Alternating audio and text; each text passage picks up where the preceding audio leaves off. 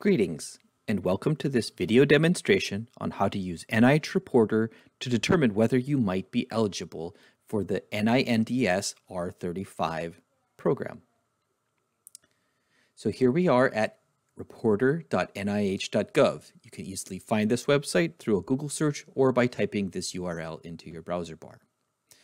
Uh, to do this eligibility search, we'll be using the advanced project search here on NIH Reporter which we can find by scrolling down and then expanding to view all of the search fields that we'll need for this exercise. First, we'll choose the fiscal years 2021 through 2017 because those are the years that determine eligibility. Next, you will enter your own principal investigator name. And so I'm using an example here from one of our NINDS investigators. You'll then further scroll down to choose just those grants that have been awarded by NINDS. Next, we need to specify the activity codes, and the activity codes that are eligible are the DP1, DP2, and then several R mechanisms, the R00,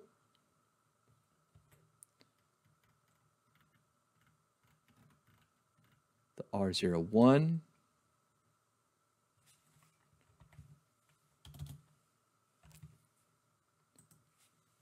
The R37 merit extension.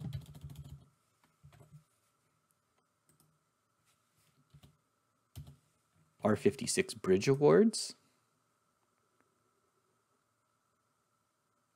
And then two variants of the R01 activity, which are the R the multi-year funded activity code and the RL1 activity code.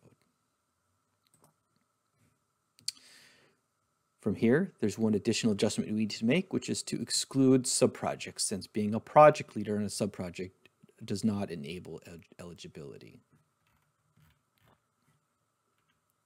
So next, we'll click Search, and NIH Reporter will return our set of hit list results. For a quick check of your eligibility, you can actually use the charts tool and then choose to visualize the data by fiscal year. And here we see that this investigator has received funding in the years necessary. There's also a tabular demonstration of this project of this uh, information. Uh, we can also export this information. And the way we can do that is go back to the list view and then choose export.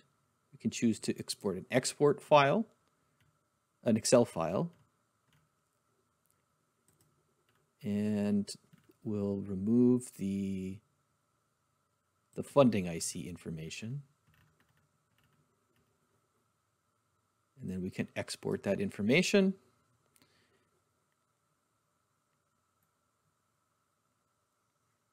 And here our browser has uh, downloaded the file and we can open this in Microsoft Excel or a similar spreadsheet program.